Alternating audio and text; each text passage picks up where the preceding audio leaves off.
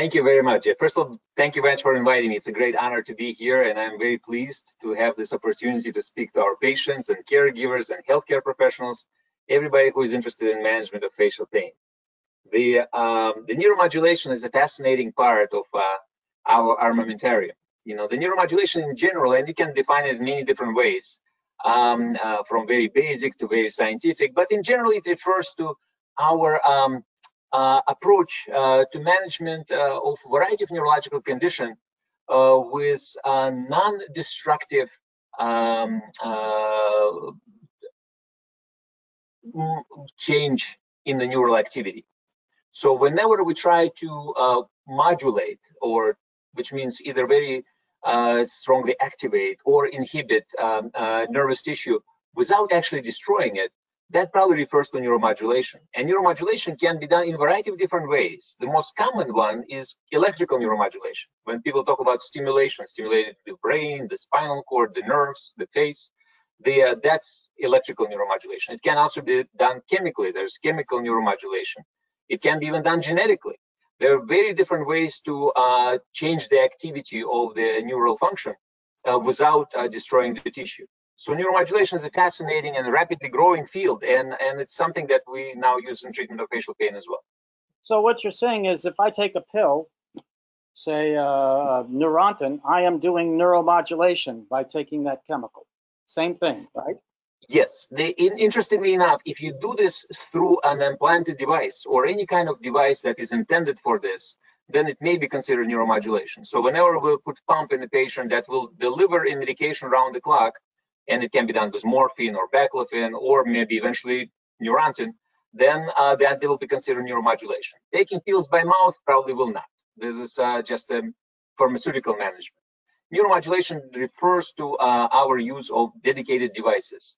And those devices can be either implanted or non-implanted, so it can be invasive or non-invasive neuromodulation, but the use of uh, appropriate device is kind of assumed a part of it. So how can you use these devices in people, in people with facial pain? How do they do that?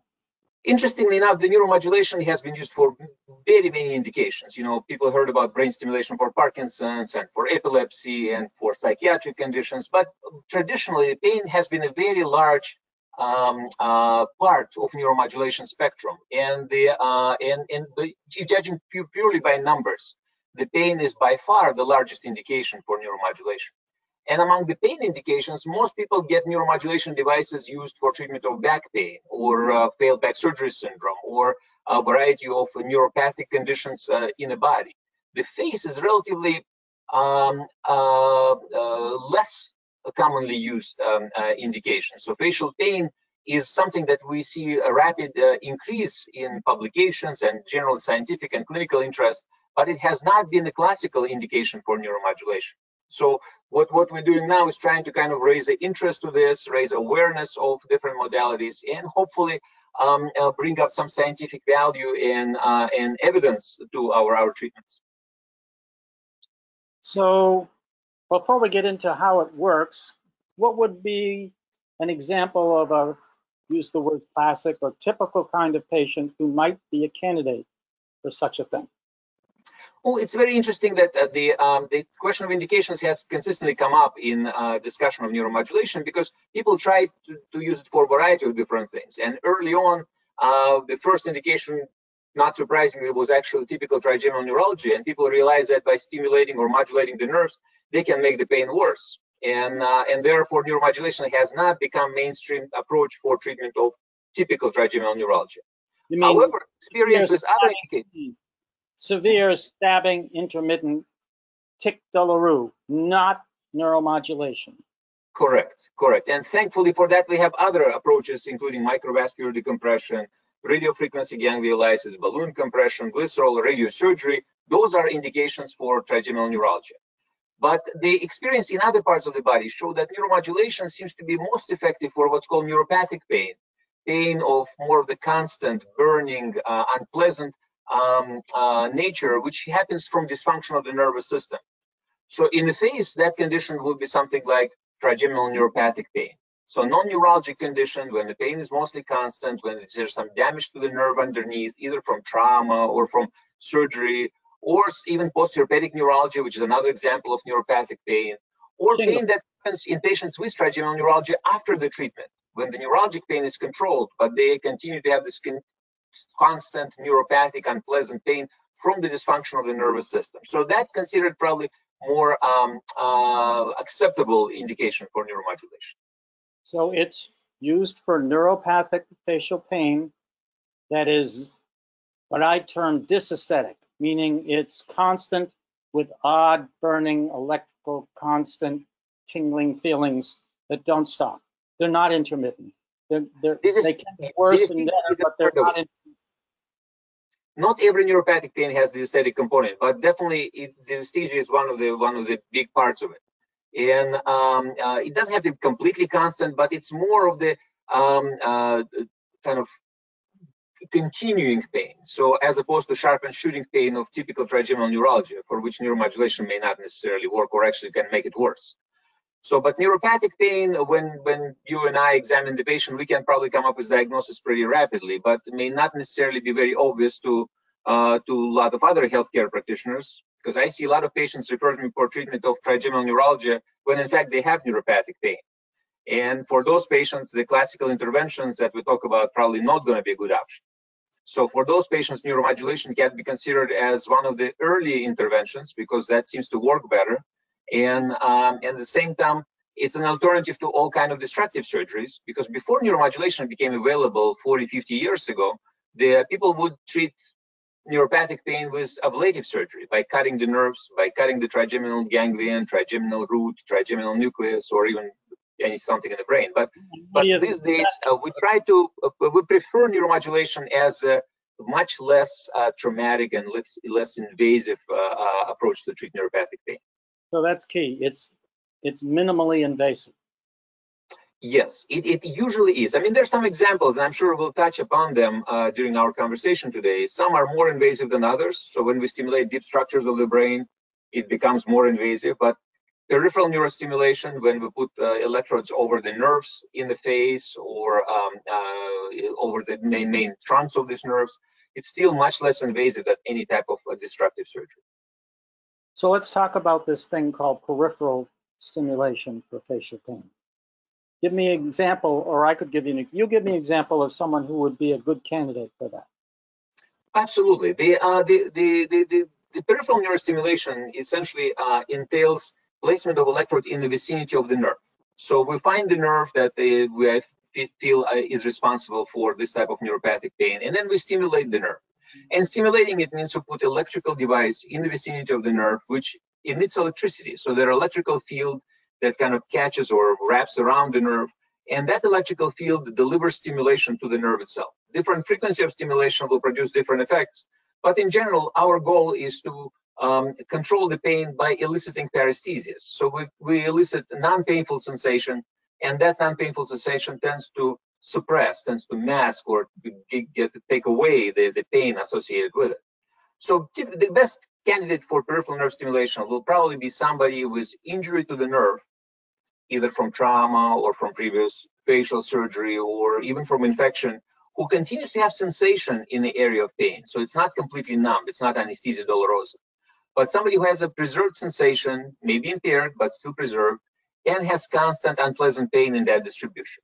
So those patients tend to do best with peripheral neurostimulation. That's an important point. They have to have some sensation. It can't be completely absence of sensation because then you presumably and, and that's for two reasons. First of all, the, uh, the, the absence of sensation usually indicates more central mechanism of injury, so there's, there's something that not not on the periphery. And second, if the nerve is completely non-functional and there's no sensation coming from the face, the neurostimulation is unlikely to reach the brain either. So the patient who is completely numb uh, and has no sensation in the face, putting a stimulator over the nerve is unlikely to produce any beneficial effects because it just not doesn't doesn't reach the centers where the processing takes place. But it's a matter of degree. Some sensation, we don't know exactly how much to define. That's and, correct, and that's and, why we'll tested before we put a permanent device. You know, for most patients, before we implant a stimulator, we want to do what's called a trial of stimulation. We want to see what kind of effects this particular patient has to this approach because Talk everybody is different. Talk about that. How do you the, do that? Uh, Yes, the way we do that is um, we uh, we test the patients for a brief period of time, usually between uh, uh, five and ten days. The, uh, I usually do it one week, just kind of out of um, convenience. And what I usually do, I put electrodes in, um, and the I used to test them during surgery, so I would keep patients awake, put electrode, test it on operating table, and then I stopped doing that because it's unpleasant. There's uh, there's pain from insertion, so I prefer to either sedate or put patients to sleep completely, put electrodes, and then once they wake up in recovery room, I would turn it on because anatomical course of nerves is very predictable. So we know exactly where supraorbital, infraorbital, mandibular nerve travels. And for those nerves, we just put electrodes under X-ray or with ultrasound. And then once the patient wakes up, we turn it on. And then we actually send the patient home with electrodes literally sticking out and connected to external device. And for that week of testing, the patient is able to learn not only whether it helps their pain, but also whether or not there are any side effects associated with stimulation. They go through a variety of adjustments based on their response. And by the end of the week, we can more or less determine whether or not the patient's uh, benefits justify implantation of permanent device. And once the permanent device is implanted, then nothing is sticking out anymore. The generator is usually in the patient's body. He or she will have a remote control that will allow them to turn it on, turn it off, make it stronger, make it weaker, switch between different programs, and uh, or just you know keep it off if it's not needed anymore. Um, and, and, and that's kind of give patient more freedom and more autonomy, at the same time reducing risk of long-term infection or any other complications. So is, is this thing that's implanted like a giant thing sticking out of people's chest? Do they walk around with this little sign saying, look at this, I've got this horrible thing? Or is it invisible or near invisible? It's a it's it's a work in progress. You know, they when this all started, they with the generators were quite large and patients were definitely complaining about presence of large devices that would stick their uh, under skin of their chest. But not anymore. These days devices are significantly smaller. They're much, much more miniaturized. And uh, as a matter of fact there's some new devices which are investigating now which don't have any implanted batteries at all. They're kind of externally coupled with radio frequency um, uh, sources of uh, energy sitting outside like an earpiece or in a pad and but those are just still work in progress. It hasn't been approved for that. But the uh, but traditional devices that we use do have an implanted battery, and it tends to go either in the chest or in the back somewhere, but away from the face. Um, and and there's just the only thing that they have in the face is essentially a set of tiny wires that travel under skin, usually with some anchors behind the ear. I mean, we surveyed our colleagues, and everybody does it slightly differently, but uh, but the principles are the same. You know, the electrodes stay over the nerve the power source is somewhere away from the face. Are these distorting in the face? Do people have obvious wires going through their face that people see, or are they invisible? That's a great question, but no. Even with, even in the old days, the electrodes uh, have always been small enough to be relatively um, uh, non-noticeable. So uh, if, if you touch the face, you probably are able to feel small wire under the skin but they are not expected to be either uh, visible or even palpable. So they uh, so there are tiny wires. They are inserted through the needle. So the uh, the size of electrode is somewhere between 1.2 1.5 millimeters. So it's a, a 1/20th of an inch um, uh, in diameter. So they are really thin wires with multiple contacts, and those wires allow us to deliver electricity exactly where it's needed. So uh, once this is put in, and let's say it works great. The person say this is the cat's meow, and then three months later they say, "Ah, it's not working anymore." What do you do? That's that's that happens. That happens, and and in that situation, there are several things we need to investigate. First of all, we need to make sure the device is actually working because, uh, interestingly enough, most systems we use these are rechargeable, and if you don't charge them properly, then battery just dies and stimulation stops. The second thing to test is whether or not the um, the stimulation is getting delivered to where we need it to be.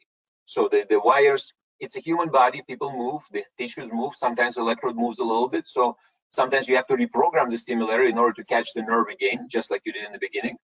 And uh, and that's why majority of systems we use have multiple contacts. So we try to put the nerve somewhere in the center of the electrode, and if the electrode moves one way or another, we can just reprogram it and catch the stimulation spots again. Sometimes the just like every man-made device, it may malfunction.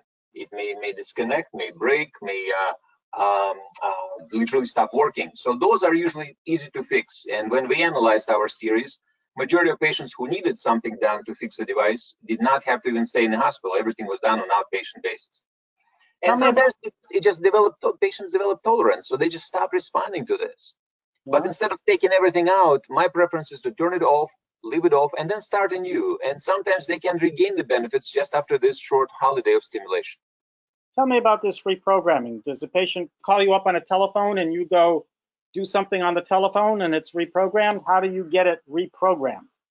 We're getting there. There's now a lot of work being done on trying to do remote programming via internet.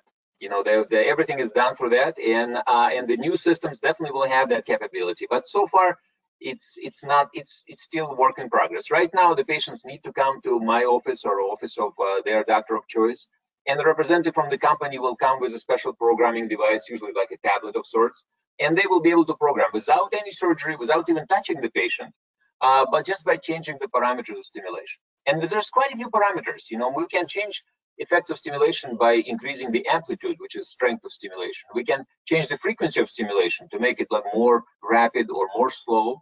We can also increase the amount of signal, the length of each signal of stimulation. So, and then there's multiple contacts. We can create multiple configurations. So we can stimulate like something as simple as plus minus, or we can do multi-contact configuration, trying to shape the field in order to get closer to the nerve or farther from side effects.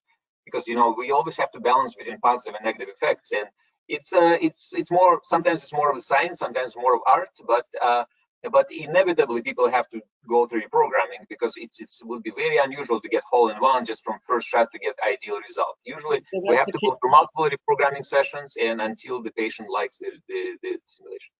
So if at first you only partially succeed, you keep on working.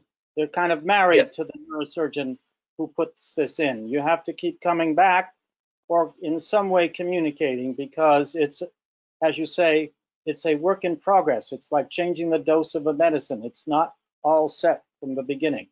Important. That's exactly right. That's exactly right. And what we usually try to do is we try to give patient a, a several programs. So he or she can, working from home, choose between program one versus program two or alternate between them and so forth. And But inevitably, um, uh, the, there is a need for reprogramming and check. And I, I ask my patients to, to, to be um, uh, ready to come and get device checked and reprogrammed. And uh, but in all fairness, as opposed to say pumps when patients have to come every few weeks to have the pump refilled, the stimulators once they are up and running may not need any maintenance at all. So it's not unusual for me to see patients who I really haven't seen for quite a few years who come because the battery just stopped charging and now needs to be replaced, or the battery which is non-rechargeable just reached the end of life and needs to be replaced. And once we change the battery, then patients disappear again and enjoy the stimulation for, for a long time.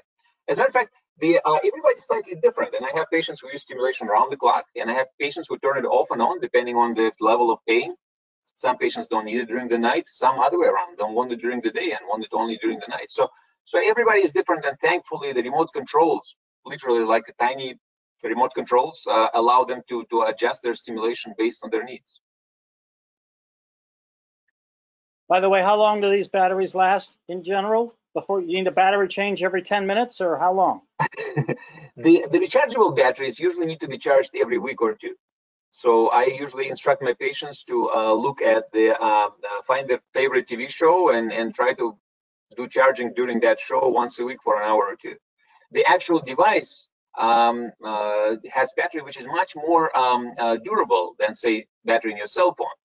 I would dare to say that most batteries in cell phones will probably stop charging and holding power within three, four years. The stimulator batteries are expected these days to last somewhere between eight and 15 years. So we really, we really want patients to have as little uh, occasions to have surgery, as few surgeries as possible. So at the same time, I don't want patients to have device that will last forever because by the time the battery needs to be changed, the technology will be so much forward. So you wouldn't want to drive 20 year old cars just because you know you don't want to go to the dealership. Explain a little bit about this recharging. You don't stick your finger into the electrical socket. How do you recharge it? No, I mean, I don't think just, just sticking your finger will, will charge your device. Will charge probably everything else, but not the device. So the chargers uh, are actually something that is done um, uh, wirelessly, usually get placed over the generator. The charger is a little bit bigger um, uh, device that gets that goes over clothes and uh, definitely does does not even touch the skin, and it delivers energy to the generator Uh, it has a set of uh, either sounds or lights that tells you when it's fully charged. It usually takes about 30 to 40 minutes to charge the device to, to, to give enough power to, to, to give it enough power to last for a week or two. Okay. Um, you mentioned that there it creates a comfortable feeling that blocks the uncomfortable feeling. Any idea why that works? That's uh, you know that's something that people learned a long time ago. That you know if you if you say if something hurts and you rub it, suddenly the pain is not as severe anymore.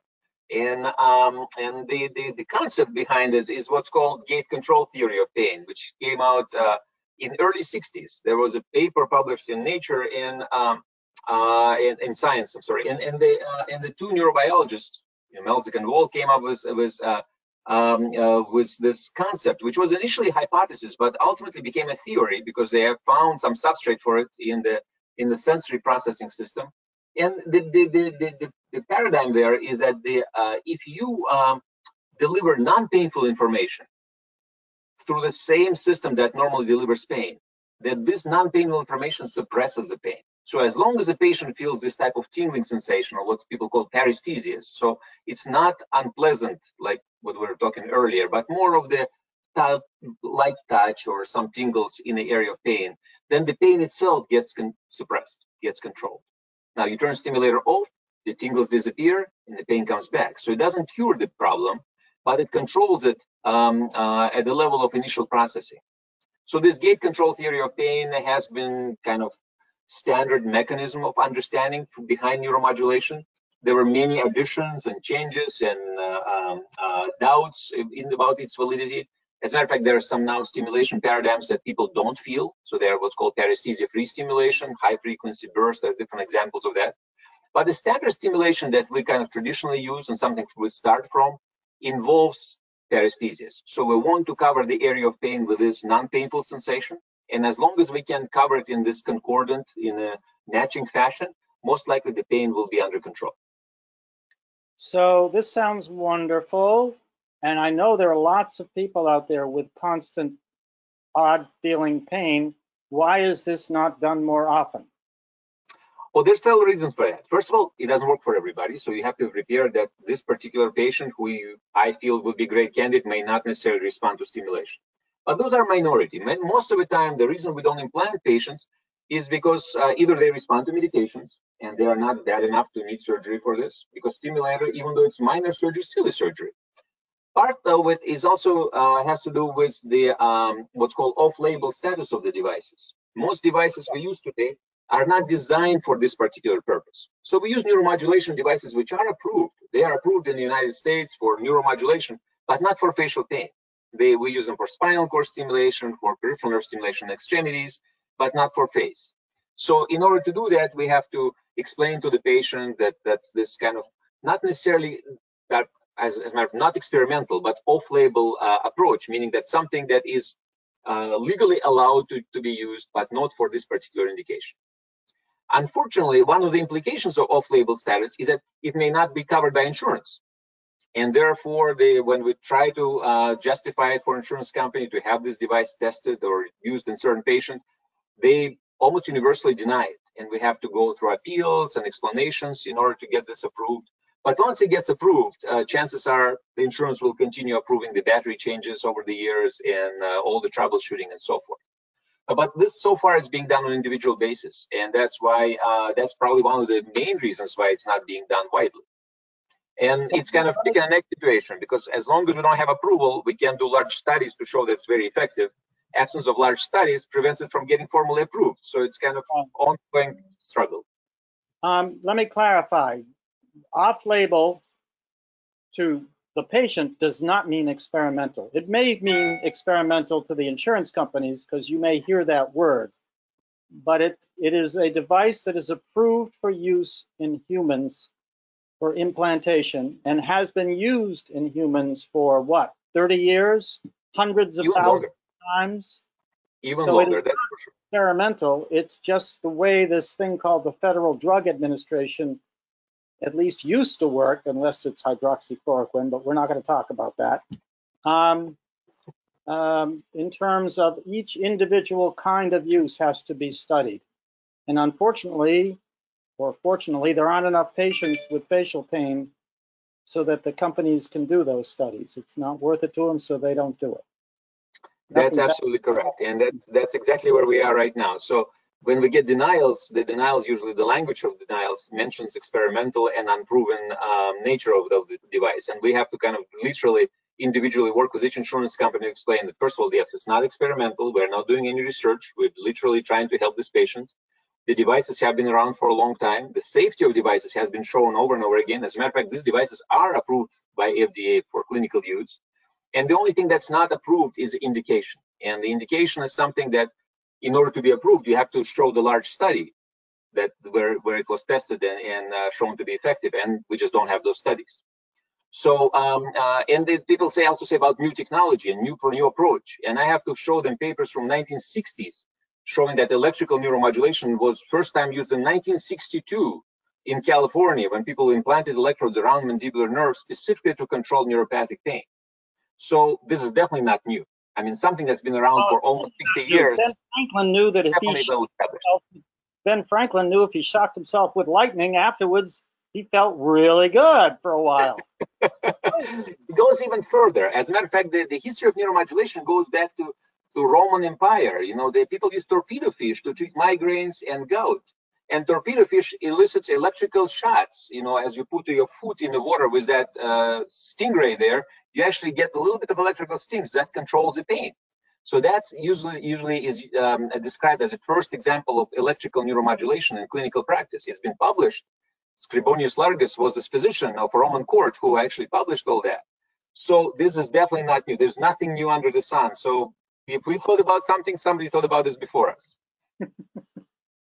um, that reminds me of what Peter Jannetta used to say, is that old surgeons have to read new books and new surgeons have to read old books to learn everything.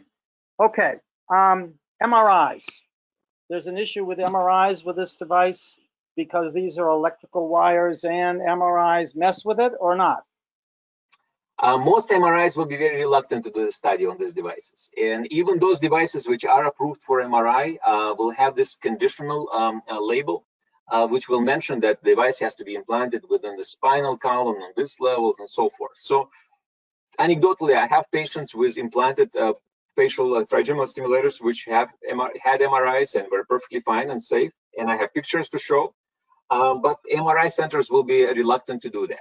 Now, interestingly enough, there's a device which is fully MRI approved for both 1.5 and 3 Tesla scanners. It's one of those wireless devices. Um, but but that's something that we don't routinely use just yet. There's a study underway specifically for facial pain indications. If that turns out to be uh, positive, then my guess the patients will be more open to this particular device for reasons of MRI compatibility. Oh, but, but keep in mind, no MR, no device that has any kind of metal is considered MRI safe. What what the, the labeling we have for this device is called MRI conditional. So essentially, they have certain conditions when MRI is uh, known to be safe or harmless to the patient and to the device. Uh, and everything on the market now, from pacemakers to spinal cord stimulators to brain stimulators, they have this conditional approval. So we're trying to get the same thing for peripheral stimulators. And once again, it requires larger clinical experience to show this. So right. there are some devices which are definitely cleared, and there's something that will take a little bit longer to get cleared. The MRI has to be done with certain parameters. They can adjust these parameters. They do adjust them with each study, and they have to be aware what parameters are apparently safe with these devices. That's right. That's very true. And and the other thing is what, what some of the patients uh, uh, become confused about is they feel like, oh, this device is approved for 1.5 Tesla MRI, then I can definitely have an open MRI with 0.3 Tesla because it has lower power. That's uh, actually a misconception because for to have the same degree of quality of pictures, you, they have to increase what's called radio frequency coil around it head or body, body part. So lower Tesla MRIs may actually have more energy delivered to the patient. So you have to be prepared for that. So but, but in general, the radiologists are pretty good about that. They read the labels. They know exactly which company, which device is approved for what kind of settings and they would probably be go along with with recommended settings. Um, people are concerned if they walk around and they come in contact or close to some kind of electrical high-powered field that it will wreak havoc with their device. Do you have any comments on that? Yes, that's that's that's another very um, uh, very interesting point because I tell my patient that they shouldn't stick their head into microwave because microwave will definitely absorb the um, uh, the, the, the, rays into the electrical like, uh, device and metal. Uh, but in general, everything else is considered safe. The older generation of devices was very sensitive to magnets, so patients would go through metal detector in the uh, exiting a drugstore or big supermarket, and the device would get turned off. And that was very easy to fix. All they need to do is just to pull out the remote control and turn it back on. And I had a patient who uh, came to me because the device uh, uh, got depleted early, and we found that it was turned on and off um, many thousand times, which was very difficult for a patient to do. So it turns out that he had a lot, lot big collection of magnets on his refrigerator, and every time he would open the refrigerator, he would turn his device off and then turn it back on. And it was it was very it was comical situation but but every time this happens i have to i have to investigate this. So yeah so the worst thing who came to me wisconsin changing settings because her husband was working in in an auto store and they had huge magnet that would lift up the cars. And every time she would go to his auto shop the entire shunt will change the settings so so there's there's very unusual situations happening and uh, it's interesting how the, how they um, uh, it doesn't give them a surge of electricity. It just turns it off. That's correct. Yeah, the device doesn't explode, it doesn't stop working, but most uh, stimulators we implant today have this magnetic switch that will turn them off. And it's done for safety. So when they go for surgery, for example, they can put a magnet on their device and that would turn them off temporarily. So that's. Uh, I, I did have a patient who lived in the cornfields of Iowa and there was a, an electrical storm, lightning struck his house and it zapped the whole system. It stopped working. can happen. Yes, if the patient gets electrocuted, my guess the electrical device will absorb quite a bit of power because it's metal. So let me switch to talk about pain in the back of the head. This thing called occipital neuralgia. You want to talk about that? I'll leave it as an open question. What is? Oh yes, absolutely. The occipital neuralgia is a very it's a fascinating condition. You know, it's a, even though the name is similar to trigeminal neuralgia, it's a very different thing and it can be unilateral or bilateral. It tends to be from uh, some kind of dysfunction of occipital nerves it may happen in patients with abnormalities at craniocervical junction when nerves are literally get irritated, sometimes from trauma, sometimes from no reason at all. So there's case of idiopathic occipital neuralgia, which we never find out what's caused them in the first place. But but those patients can be as miserable as facial pain patients. And this constant pain in the occiput in the back of the head on one side or both sides can be quite disabling. And the treatment of that condition has traditionally been the same barbaric approach when the nerves get cut or the roots of the nerves get cut or the ganglia gets removed. Um, and so, uh, so the, the, alternative of uh, nerve stimulation uh, became uh, um, more of the um, mainstream back in late 1990s. One of our colleagues in uh, Texas came with this idea of putting electrode over the nerves and stimulating that nerve, and by doing that, controlling the pain. And it worked. And it worked so well that there was a lot of studies and papers published on this to the point that uh, a few years ago, there was even guidelines published by our neurosurgical organization, specifically spelling out that occipital nerve stimulation has enough evidence to be to support treatment of occipital neuralgia. So that publication of guidelines actually made it much easier for us to get approval from insurance companies because electrical stimulation Maybe you, but um, in general, it's still a problem. It's still a problem. It definitely is. Definitely is. It's still, no insurance company has it approved as accepted indication. So we have to argue every single case. The insurance companies tend to like to use the word headache, and they say that we're treating headache. This frightens the insurance company. They don't want people to be able to treat headache with electrical devices because there's a huge population of patients in the world with headache, and they don't want to unleash it. That's that's part of it. Another part of it. Correct. For occipital neuralgia, yes, we recommended using specifically for occipital neuralgia. You see, there were some studies on using occipital stimulation for migraines, and those were not as um, uh, successful.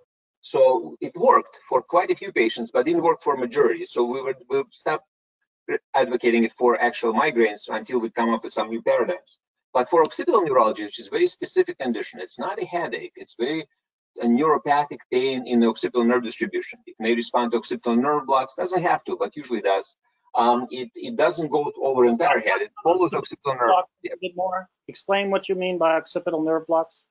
Yes, the nerve blocks uh, is is is uh, is both diagnostic and therapeutic modality. So something we use to diagnose the condition and also to control the symptoms. And uh, the nerve blocks literally involve injection of medication in the vicinity of the nerve.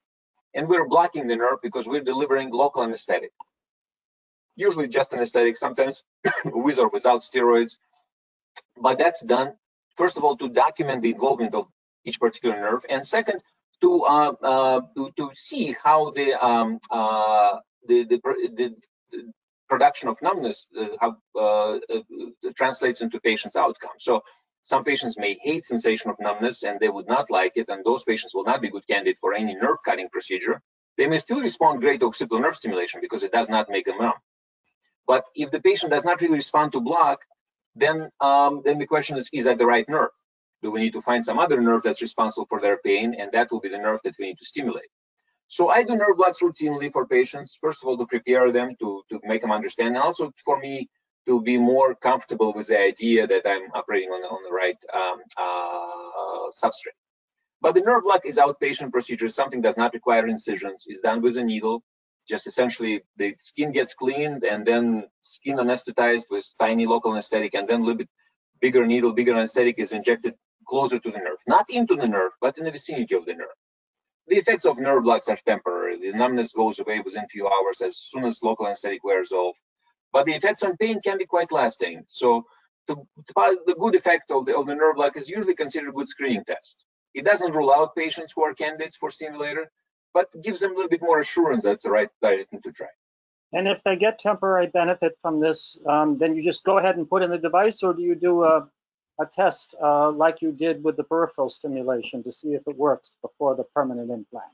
Right now, I do the test. I still try the test because, first of all, I want to um, prepare the patient to what the stimulation feels, make sure that he or she likes the effects of stimulation, and also to see how much it helps their pain. Because, like like we talked about earlier, sometimes even most um, uh, confident uh, and most uh, um, uh, patients with highest expectations may have no results at all. And I want to make sure the patient does respond and his pain, her pain does improve with stimulation. Usually one week is enough to get that understanding. And once we have this, then I feel much better justifying placement of permanent device. Now we call it permanent, nothing is permanent, but it's a much longer lasting device with internal generator. Yeah, not permanent. Talk about, let's switch to spinal or brainstem stimulation. Yes, it's interesting because for facial pain, the um, uh, we can stimulate spinal cord to control the pain. What happens is that the trigeminal nerve, which most our patients familiar with the concept of trigeminal nerve, starts in the face, goes in the ganglion. Ganglion is kind of just next to the ear, behind the eye, and from there it goes into the brainstem. Now, interestingly enough, the trigeminal fibers in the brainstem go all the way down into spinal cord, and then from there they go into thalamus and cortex. So this area of the spinal cord where trigeminal nucleus lives, it's called nucleus caudalis or kind of towards the tail. Uh, this nucleus happens to be at the level of first and second vertebral bones. So when we stimulate spinal cord at a very high cervical level, we can actually cover the entire face or most of the lateral aspect of the face. And the uh, and this this has been uh, tried uh, for treatment of facial pain. Uh, it was uh, tried in, in, in the uh, United Kingdom, in the United States, all over the world. And the results are interesting. Um, and, uh, and the only reason we don't rush to spinal cord stimulation in this is because if we can get the same results with much less invasive peripheral stimulation, that, that's considered first choice. But the spinal cord stimulation has been around for a longer time. As a matter of fact, it's probably easier to get approval for this, uh, but it's, it is somewhat more invasive intervention. So, but but traveling further, you know, the uh, the, the, the, the, the advantage of neuromodulation is that it can be applied to all the entire pathway of pain, and it starts at periphery, it goes into the ganglion, through the nerve root, into the brainstem, into the thalamus, into the cortex, and every every spot can be treated with neuromodulation. So we can put electrodes over the nerves, we can put electrode over the ganglion, we can stimulate the nerve root, we can stimulate the uh, upper cervical spinal cord, we can stimulate the thalamus. We have deep brain stimulation approaches for stimulation of thalamus, and we can stimulate the cortex. Now, just like with everything else, you have to find the right spot for stimulation. So sensory cortex, where the stimulation is processed, the stimulation of sensory cortex will probably make people numb or, or will create more pain. So what people discovered is that the stimulation of motor cortex, which is the next uh, uh, part of the brain, more anterior, more towards the forehead, control, is able to control the pain. And the facial pain, including the deafferentation facial pain, like anesthesia dolorosa or pain after strokes, that seems to be a good uh, indication for motor cortex stimulation. Now, you are much bigger expert in this field than me. I mean, I, I, I'm trained on your papers and I know how much experience you have, but but I feel very comfortable offering to my patients because I think that's a great modality for very specific indications. And once again, it's an alternative to destructive surgery.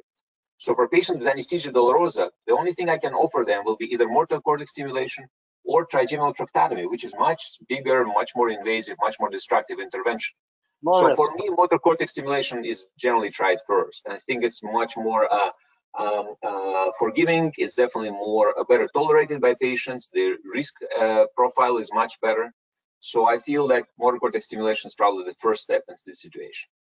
Now, going even further, you can stimulate all other parts of the brain as well. And uh, the general trend these days actually is away from surgeons like me and you and more towards non-invasive neuromodulation which is something that people try with magnetic stimulation, direct current stimulation, and we read more and more about this. Unfortunately, there's not that much done for treatment of facial pain, but there's plenty of literature for treatment of migraines, for treatment of psychiatric conditions, treatment of um, pretty much everything. Um, and maybe facial pain will be part of it as well at some point.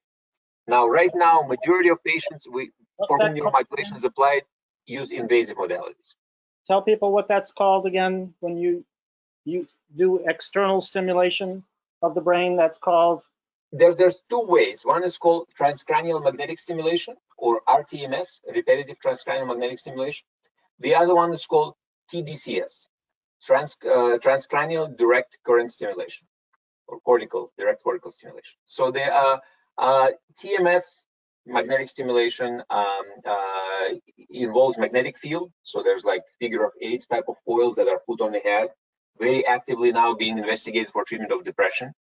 And DCS, or direct current stimulation, kind of stimulates directly electrically over the spots with one or multiple waveguides. Um, and that is used for everything from gaming to any kind of uh, um, uh, cognitive dysfunction uh, to pain. But it, it, I understand it's approved when psychiatrists do transcranial magnetic stimulation for depression. That is an approved application. It is, it is. And psychiatrists have it in their offices, yes, and they use it. And uh, it usually requires multiple sessions. So the patients have to come either daily or weekly for a long period of time. Uh, but it's definitely um, it's definitely approved uh, and it's now being considered as one of the alternatives to electroconvulsive therapy because essentially it's electrical modulation of the brain, yes. but with much less um, uh, degree of invasiveness.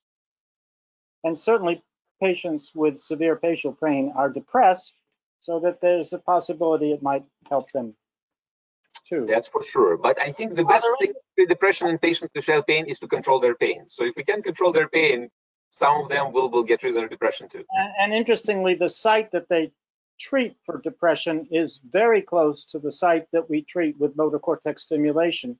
So if you can get the psychiatrist to move that device just a little, it's right over the spot. It's uh, potentially helpful in determining whether someone might be a candidate for motor cortex stimulation if you do uh, trials of uh, transcranial magnetic stimulation and they benefit from it with their pain. That's There's correct. As a matter of fact, our colleagues in France, they were using magnetic stimulation as a screening for motor cortex stimulation. They found those who did it, they actually fared better.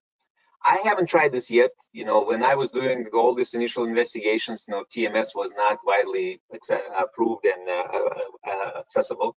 But right now, I think there's nothing wrong with people trying it first. Um, and, and if it works, then perhaps we can find better screening tools. Um, people find all kinds of things on the internet. Are there any devices that you know of that are being commercially put out that people can try that are worth a dollar, $20 or whatever hundreds of dollars that they end up paying for these devices that they purchase?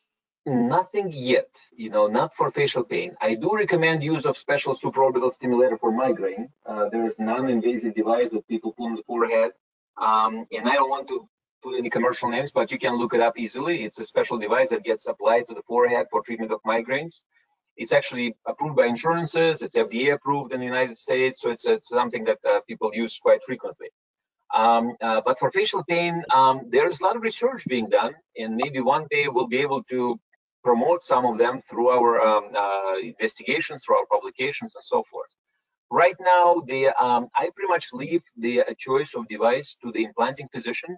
I ask my colleagues to discuss with patients pros and cons of every device because each of the devices on the market has certain benefits and certain disadvantages and we have to be able to kind of balance them based on the patient's um, uh, individual needs.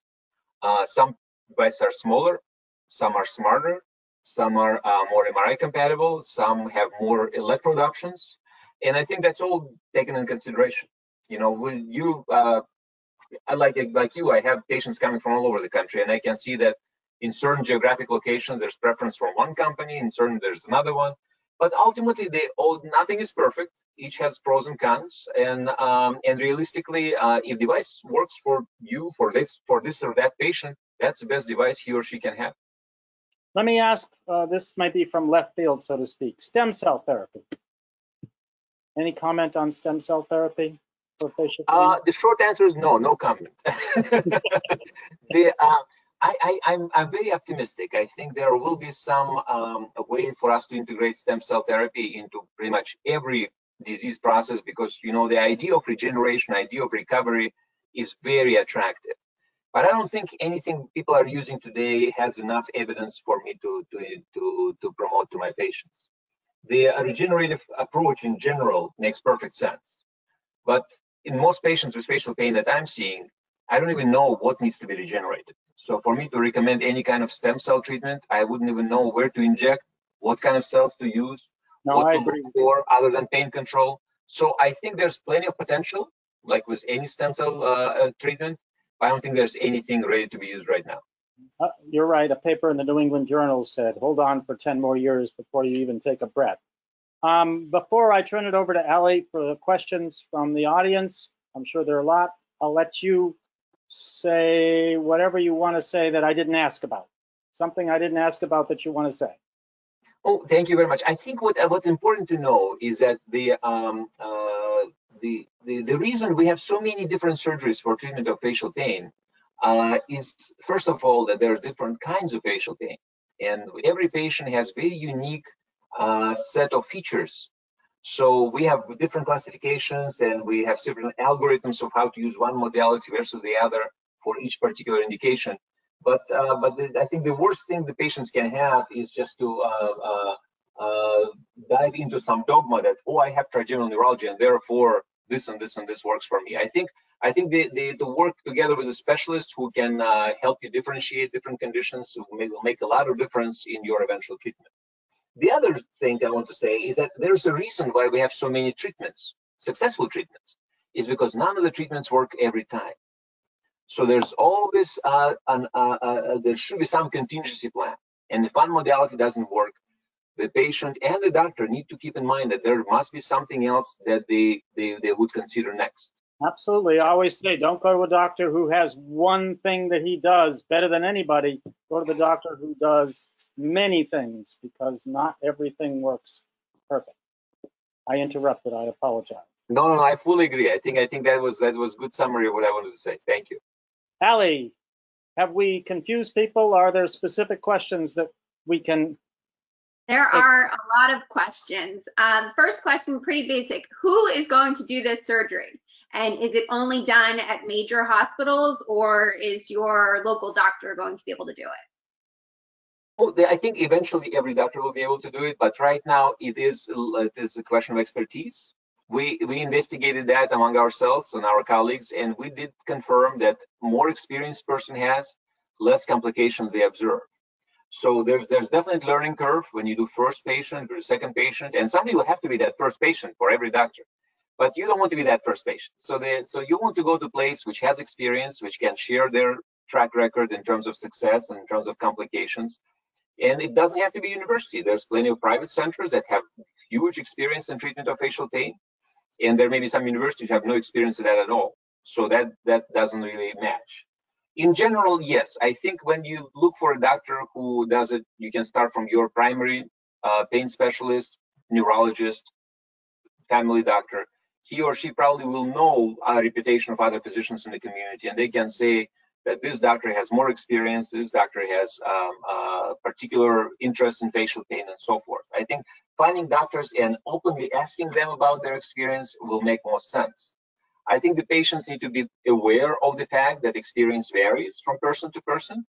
And ultimately, if, if the place specializes in certain uh, uh, direction, like if they really deal with a lot of patients with facial pain, most likely they will have um, uh, enough clinical experience to judge about appropriateness of candidates, about best choice of surgical intervention, about what to look for in terms of complications and troubleshooting, and so forth. But it's not uncommon for patients to get to the place which may not be necessarily experienced and then come to more experienced center for troubleshooting. So I'm sure Dr. Brown and myself, we see patients coming from all over with either very successful or completely unsuccessful stories. And it's not uncommon for us to go back to scratch and kind of try to establish diagnosis, try to use common and standard approaches before jumping to something unusual. All right, awesome. Um, when you're going to um, speak with the doctor, is there anything that you should be asking them discussing neuromodulation? Like, do you want to know their success rate? Do you want to know how many they're doing a year? What should a patient ask? Yes, absolutely. This is more of the common sense uh, recommendations. Yes, you should ask patients and doctors about their experience and their attitude toward this. I mean, if you feel that the doctor is completely negative about this, perhaps based on his or her experience, then you know that you're not going to be a good candidate for that in this particular facility. If the doctor is overly optimistic, that will be concerning too, because like we discussed earlier, nothing works all the time. So patients have to be very um, realistic and pragmatic about this. You know, things may work, may not. It's definitely worth trying. It's definitely worth testing, but you have to be prepared that it may not work. And if it doesn't work immediately, it may still work later and so forth. So there's there's certain um, uh, level of tolerance uh, and there's also certain level of trust. You know, you if you find a doctor who you trust in terms of his or her experience and his way to deliver information to you, then I think your overall outcome will be better. I have to add that I once had a patient recently who asked their first physician, what is his success rate with this operation? And he said, 100%. And they turned and left the operating room, left the, left the office because no one has 100% success. That's not a good thing to say. Well, I think what, what you need to have, it's a follow-up question, but how many have you done?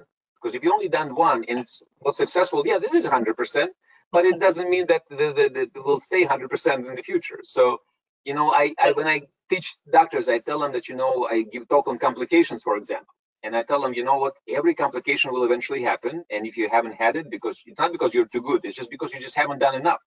At some point, you will have these things. And the, the, the, safest person is not the one who doesn't have complications. The safest person is who knows how to manage those complications, how to diagnose them, and how to troubleshoot them, and how to get out of them when they happen. So yes, we want to prevent complications, we want to minimize this, but we also want to be prepared, not just us, but our patients and our uh, extenders. We have nurse practitioners, we have residents, we have physician assistants who will be familiar with that, who will not just blow the patient away, but who will bring them in when it's needed get things done in a um, you know rapid fashion and and solve the problem and get make them happy again. If, if I can chime in, I think that's an extraordinarily important point. There was a study done of university hospitals versus smaller facilities, and everybody had the same complication rate. The university hospital had the same complication rate. What was different was what they did when they identified and how quickly they identified that complication. That's where character comes in. That's the most important thing in a surgeon is how do they deal with the problem because the problems will occur. I'm sorry to give a speech, but that's very important. I fully agree. Another question, there was a little bit of confusion on which types of facial pain um, neuromodulation is good for. Um, does it only work for tri trigeminal neuralgia? You guys talked about occipital neuralgia, but is it if someone has different types of facial pain, are, is this a candidate? Are they a candidate for this? You know what? It's it's not surprising people ask this question because we hear the same question from our colleagues as well. The, what we know for sure is that we do not recommend neuromodulation for trigeminal neuralgia. Like we talked in the beginning, the typical trigeminal neuralgia is not a good indication for neuromodulation. However, having said all this, we do have patients who have trigeminal neuralgia but who develop neuropathic pain over time as a result of treatment, as a result of complications, as a result of failures, as a result of natural progression. There's different reasons why people may develop neuropathy. And for those patients, neuromodulation may be an option. It's occipital neuralgia is very different condition. Occipital neuralgia, even though it sounds like trigeminal, it's very different one. It doesn't respond to same medications. It doesn't come from the same nerve. It has very different pattern of pain. So, and it's, I mean, as physicians, we are guilty of having these similar names for very different conditions. But keep in mind, trigeminal neuralgia or tic douloureux is a very unique condition that really has very few analogs in any other part of the body. So occipital neuralgia is like neuralgia in the arm or leg, or postherpetic neuralgia, something over constant pain related to nerve irritation. The trigeminal neuralgia is very different animal. So for occipital neuralgia, it's almost like trigeminal neuropathic pain. Those are good indications for neuromodulation after you do the surgery, the neuromodulation, how long does it take to feel like that it's working? You said you don't turn it on until the patient wakes up, but how long after the procedure will the patient feel relief? That varies from person to person. I mean, sometimes patients experience pain relief immediately as the device gets turned on. Those are unfortunately rare cases, and we love when this happens, but we are not expecting this every time. Most of the time, the device has to ramp up and the patient has to get used to stimulation. And as they get used to the sensation that stimulation provides, they also notice that pain is not there anymore. So that may take from a few minutes to a few hours, sometimes a few days. Sometimes, you know, I have patients who really had good relief from the trial, from the testing. And then when permanent device got in, it wasn't as effective. And they come back and say, you know what, it didn't work for me, take it out. And I try to tell them, wait a little bit longer. And in few weeks, sometimes in few months, it actually does produce quite a bit of difference. So there are different conditions that have different uh, interval for um, pain relief to occur. There are certain things uh, that are expected to start working only like two, four to six weeks uh, later. Uh, for trigeminal neuropathic pain, we usually see improvement within few days. That's have been our experience. With motor cortex stimulation that we briefly discussed earlier, it may take longer. It may take a while for for whatever reason, brain reorganizes itself for patients to feel some improvement in pain. So don't don't create rigid deadlines. I tell my patients, don't expect things to be improved by tomorrow or by next week. Be open-minded about this. Let's see how things go. We'll learn this together. And once once we're confident that it's working well and we don't need to help each other anymore, then you can continue living your normal life. And if at some point both you and I agree that it doesn't work, I will have no problems taking it out. You see that one of the advantages of neuromodulation, which we didn't really touch about today, is that it can be removed. I mean, I have removed devices from patients either because it didn't work or sometimes because pain went away. And when pain goes away and they have not been using device for more than six months, I have no problems taking it out.